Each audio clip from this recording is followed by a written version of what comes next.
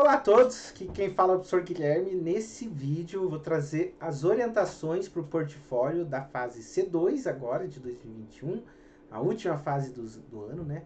Para os alunos dos cursos de licenciatura ou bacharelado em matemática. Então, como vocês bem sabem, agora se trata de portfólio, agora fase 2, ano 2021.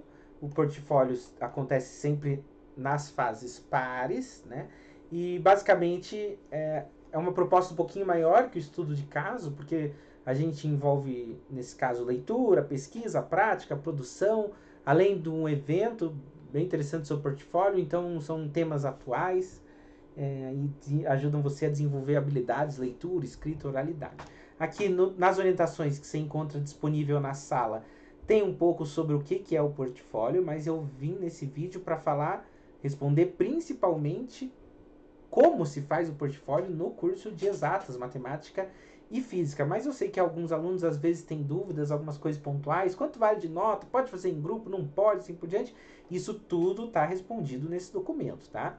Mas agora a gente vai ver qual que é a temática. Nessa fase, a gente vai falar sobre turismo, esporte e cultura. E a gente vai dar para vocês uma visão do esporte a partir da ótica das ciências exatas. Inclusive, no dia 4 de novembro, não sei se você está vendo esse vídeo antes ou depois, haverá ou houve né, um colóquio com uma professora, a professora Luana vai falar um pouco sobre doping e o nosso aluno Alisson vai falar sobre o efeito Magnus no vôlei, que são atividades bem interessantes que eu acredito que vocês vão gostar. Nesse portfólio especial para o curso de matemática, você vai ser convidado a refletir um pouco sobre como os simuladores eles podem ser usados para a gente compreender melhor os modelos matemáticos quando pensados para esportes. A, o objeto que você vai produzir é um roteiro de como utilizar simuladores destinado a profissionais da área de exatas. Você vai aprender aqui como que estabelece relações entre matemática e outras áreas de conhecimento e vai identificar, formular e resolver problemas na sua área de aplicação, utilizando rigor lógico científico na análise da situação problema. Vamos compreender um pouco a fundamentação? Esse ano, em 2021, foi publicado o Caderno Intersaberes, um dos nossos discentes, mas não só ele, né? O Alisson, orientado pelo professor Roberto, ele publicou um trabalho chamado Física e Biodinâmica, Biomecânica dos Animais, e ele uniu algumas áreas distintas do conhecimento, né? A área de física e também matemática, e a área do esporte. Lá ele discutiu conceitos de força, força normal, de torque, de centro gravitacional, centro de massa, pressão, momento linear, coeficiente de atrito, densidade, momento de inércia e como esses conceitos aparecem no reino animal, né?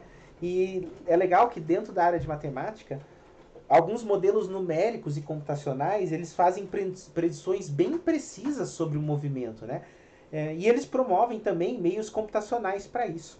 É, talvez não seja de conhecimento de vocês, né? Que existem repositórios de objetos de aprendizagem eles apresentam alguns recursos que permitem que tanto o licenciado como o bacharel em matemática possa estudar esse comportamento de atletas, de bola, de skate, tantas possibilidades, né?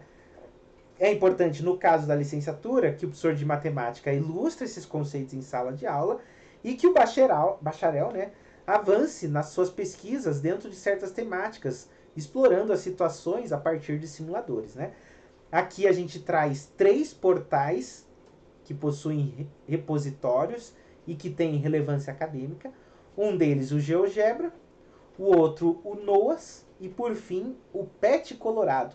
Aqui você pode ter acesso a simuladores prontos que possibilitam a modelagem matemática.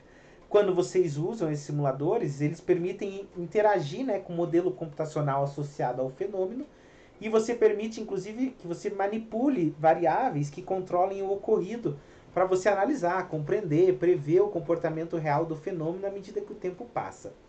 Alguns estudos na área de educação matemática são, os, são feitos para relacionar conteúdos com esportes. Por exemplo, o Morales desenvolveu uma pesquisa sobre o uso da modelagem matemática nos esportes e estabeleceu relações entre o conceito de função afim, função quadrático, arremessado ao, é, associados ao arremesso ao lance livre e para isso usou ferramentas como o Software Tracker e o GeoGebra para analisar e simular movimentos.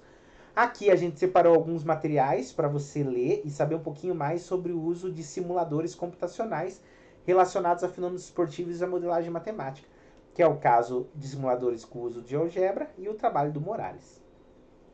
Mas o que você vai fazer? Bem, você, futuro licenciado ou bacharel, né, vai pesquisar softwares computacionais que irão descrever fenômenos esportivos e como realizar a sua modelagem. Aqui a gente separou algumas etapas para facilitar a tua pesquisa. Primeiro, você vai conhecer e explorar alguns recursos que podem ser utilizados. A gente deixou vários links de algumas simulações. E além dessas, você pode buscar aplicativos, outros objetos de aprendizagem, outros simuladores que mostrem fenômenos esportivos.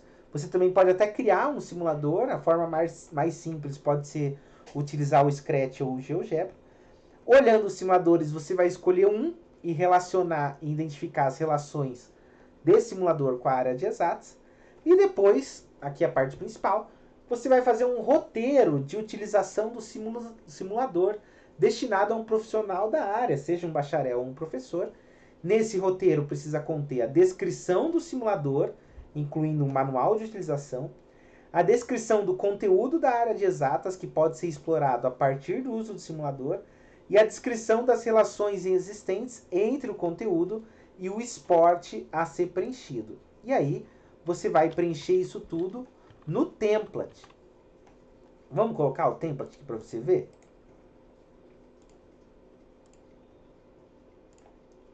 Esse modelo que você está observando é o template que está disponível lá na tua sala. É o roteiro de utilização do simulador. Você vai colocar o nome do roteiro, claro, né? Seu nome é RU. Se colocar em equipe, você coloca todo mundo aqui, né? E aqui você vai descrever o simulador, apresentar com o máximo de dados possível, colocar todas as informações sobre ele, colocando os passos, inserir imagens, isso é muito importante. É, pelo menos uma página desse item. Depois você vai mencionar e explicar qual que é o conteúdo relacionado, trazer dados teóricos sobre o conteúdo, com imagens, gráficos, todos os outros elementos que você achar necessário, mais outra página. Você vai explicar como poderia ocorrer a modelagem do fenômeno esportivo do simulador, mostrar como o conteúdo é importante para a compreensão do fenômeno e apresentar dicas para o profissional, pelo menos dois parágrafos, e depois apresentar referências nas normas da BNT. Sempre que vocês sentirem dificuldade, apresentem aí a discussão para a gente. Não deixe isso para a última hora, minha dica de sempre, e conte com a gente para fazer esse trabalho de forma colaborativa. Mesmo que você não tenha uma equipe, resolva fazer de forma individual, você procura a gente para você mostrar como está o seu desenvolvimento do seu trabalho. Tá? Você vai perceber que a gente gosta muito de responder sobre isso. Então, um abraço para você, uma ótima fase, um bom desenvolvimento de trabalho e até mais.